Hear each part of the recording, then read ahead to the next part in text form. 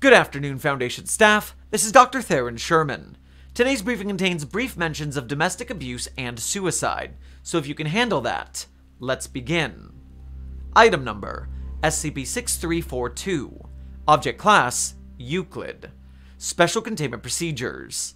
SCP 6342 presently resides in Chamber 32 at Site 24's Humanoid Containment Wing. SCP-6342 is to remain hooked to an IV drip at all times, and receive lessons from communications specialist Dr. Wilford Newman no less than three times weekly. Description SCP-6342 is Neville Hillcrest, a human male of British descent, currently in his late 50s.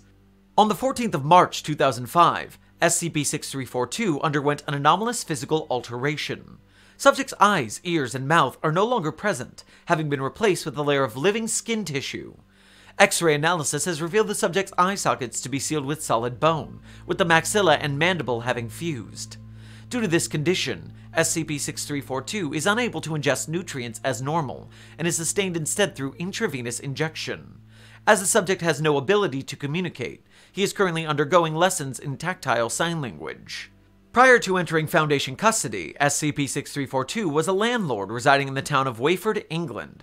Notably, his transformation coincided with the murder of Jane Davies, a 29-year-old tenant living in a property then owned by SCP-6342. Police determined that the victim had died from injuries inflicted by her husband, Stuart Davies, who was found to have committed suicide via drug overdose.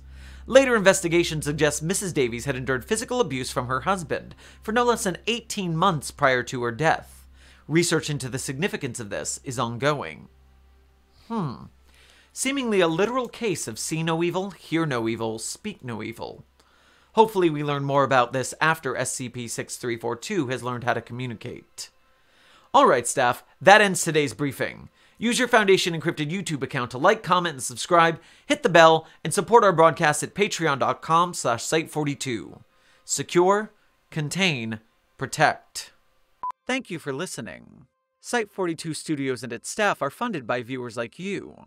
Please become a patron or visit our merch store at the link in our bio to support our work. Secure, contain, protect.